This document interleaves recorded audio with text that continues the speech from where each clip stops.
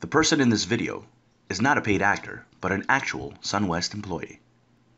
Hey there everybody, Buffy the Rate Slayer here and welcome back to another edition of Market Insight brought to you from the Capital Markets Trading Desk right here at SunWest.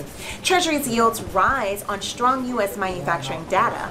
Stocks fight for gains as Amazon hits the 1 trillion market cap and crude oil is up around $70 a barrel at the start of today's session. So let's see what's going on here. Well, Amazon joins Apple in surpassing $1 trillion in market capitalization. Emerging markets sell-off deepens amid fresh contagion alarms in South Africa.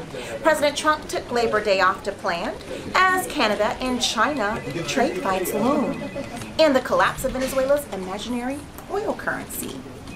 With the trade wars brewing and the midterm election looming, some analysts say the stock market could see plenty of bumps in the second half of this year before the year ends with a bounce.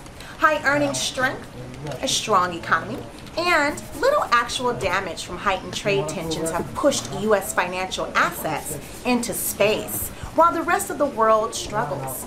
Well, my concern is, can um, growth continue at this pace, guys? I don't really know, but we'll see. As usual, stay updated with our news, and our trading desk will keep you informed with pricing incentives. Enjoy this short week, you guys. Buffy out. Our staff puts the fun back into mortgage finance.